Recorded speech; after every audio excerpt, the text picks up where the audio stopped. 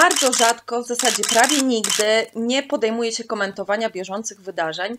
Nie mam potrzeby śledzenia, co 100 tysięcy osób na ten temat powiedziało, zestawiania tego wszystkiego i nie wchodzę w medialne gównoburze. Ale tym razem jednak uważam, że widzę coś, co widzi tak bardzo mało osób, że jednak się wypowiem. Oczywiście chodzi o aferę wokół filmu Beaty Pawlikowskiej. W merytoryczną dyskusję z zawartością filmu pani Pawlikowskiej wchodzić nie będę, ponieważ cała afera nie dotyczy merytoryki, tylko manipulacji tłumem. I o tym będę mówić.